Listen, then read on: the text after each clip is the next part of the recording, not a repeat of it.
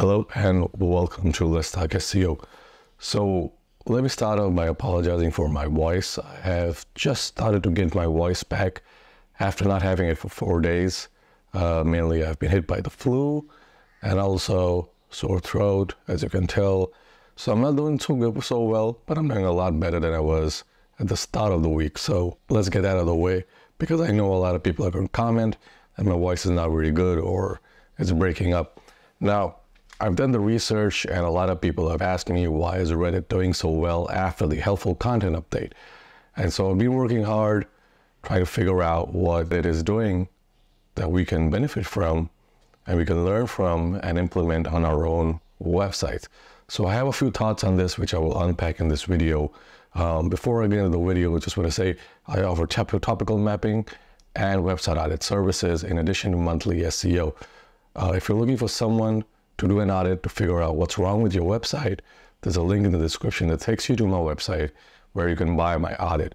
Now, I uncovered lots of stuff in my audit technical SEO, uh, on page SEO, uh, even if there's there are problems with your hosting, um, even if I do a, a, sort of like a content audit, which is also part of my audit, to see if the content is good or, or why Google will not like the content or like the content, what you can do to improve the content. Also part of my audit at the end is I give you a brief strategy of how to go ahead and use the audit and fix your website. Nine out of 10 times, people that use my audit find that not only is it insightful, but they're able to recover their website. Whether you've been hit by a Google update, whether this is a gradual decline in your traffic, getting your website audited by a third party like me with experience means that you're able to figure out what's wrong with the website and fix it before it gets any worse. Very important, especially now that Google is rolling out updates almost every month. And obviously, Google doesn't tell us about these updates. Next is my SEO service. Now, if you're looking for someone to do SEO for your business or your website, I have a link in the description that takes you to Google Forms. Fill out the form, and I will get in touch with you. We can set up a meeting, discuss what you need, and take it from there. So if you get on board now, contact me now. I should be able to fit you in starting January. Now, now that we have that out of the way, let's jump into the video. Now, you may have noticed that Reddit shows up for a lot of informational searches. And so if you're searching, for instance, is I teen, and if you go to Google and search if uh, is uh, Google's autocomplete, will show you is iatrogene safe for pregnancy, is iatrogene safe for kids. And if you go down the list, it says is iatrogene safe, and it says Reddit. The same thing is if you're searching for how to ask a girl out, it says how to ask a girl out Reddit. And so it's Google is suggesting Reddit. And this is the funny, funny part. If you search nootropics, the auto suggest will suggest nootropics Reddit. And there's a reason for this. In this video, I'm going to uncover the reason why I think this is the case. And the first thing that you need to bear in mind is Google has said that we are people first search engine. And Google sees Reddit as a place where a lot of people discuss a lot of topics. The same goes for Quora.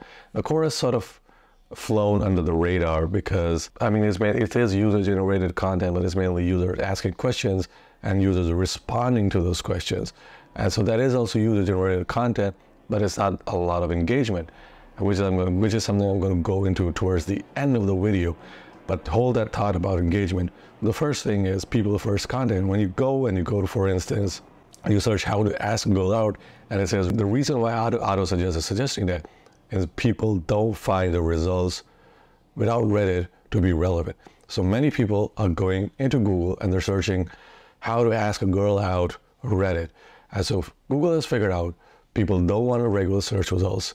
They don't want websites that talk about dating or talk about finding a girlfriend or a boyfriend. They're looking for information on Reddit. And so it sees it as an informational keyword that's related to Reddit. And it is a people first keyword. And that's one reason why Reddit is doing very well.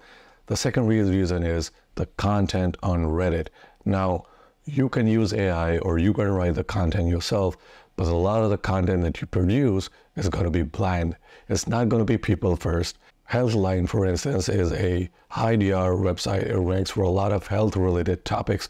If you search for nootropics, most probably Healthline will be number one, two, or three, uh, and it will have the it will have like a 4,000 word article on nootropics with links to other to related subjects. So it's a, it's a lot like a wiki for uh, medical subjects. But the problem is with that is it doesn't offer advice. It doesn't offer medical advice.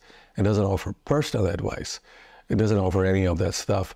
So people who are searching for nootropics are mainly students, people who are my age, who want to improve their cognitive ability.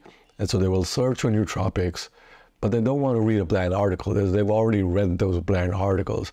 They don't want to read the disclaimer at the end of the article that says, we're not responsible for any information on this website. This is just for informational purposes only, and then you should consult with a physician. They're not interested in that. What they're interested in is people's personal experience with nootropics.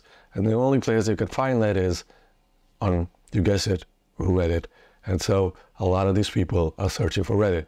Also, if you search for something like how to get pregnant, then there are websites that talk about this extensively, or how to get pregnant, or even how not to get pregnant. But Reddit is where they go to discuss the topic. And so it's a people first website as a whole, which is why it's doing so well. And so the third thing is engagement. A lot of people have fought this on with me. They have said engagement doesn't matter. Let me tell you right now, kind of engagement is a ranking factor. If you have people coming to your website and they're not buying anything, they're not reading your content, they're just bouncing off, it has zero engagement. Zero engagement tells Google that your website is not relevant to the search. When your website is not relevant to the search, Google tends to move it down rankings. And so you'll start losing rankings or you will not gain those rankings in the first place. Reddit is one of those places that's high engagement. People are engaging on Reddit forums a lot more than they are on your website, which is why Reddit is doing so well. Now, why has Reddit done specifically well or extremely well after the helpful content update?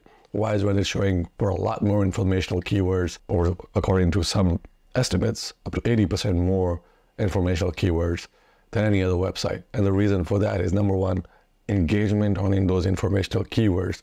And so people are not only clicking on Reddit and going to the website, but they're typing in comments, they're responding to comments, they're posting on Reddit. And that is all engagement that Google is recording that's helping Reddit do so well. So the way an algorithm would figure out if you know a website was helpful, remember it's the helpful content update. So, so the algorithm is trying to figure out why is this website helpful? Number one, great engagement. Number two, great content. Number three, people are sticking around and commenting on the website, and the articles there are user first. So three things that are working with its favor. Now, how can you use this for your own website? Well, take a leaf out of Reddit and create people first content. Create content that's based on your personal experience, not just generic run of the mill content that all, any, all, any and all websites have. Number two, make sure you keep people engaged on your page. There are more than one ways to do that. You can add a video, infographics, loads of stuff. I can make a one hour video about how to keep people engaged on your website, but all of that matters. So you need to keep people engaged on your website. Number three, and the final thing is don't target keywords that Reddit is targeting. If you see people are searching Reddit for that key phrase, don't target those keywords. It's pointless. So when you're doing your keyword research, just filter out, filter out all of those Reddit keywords, unless you have a very high domain authority website and you've already built that authority. If that's not the case, do not target these keywords. Okay, hope you found this video useful. Like and subscribe. Let me know in the comments below why you think Reddit is doing so well and for what searches have you seen Reddit come before and I will see you guys in the next video.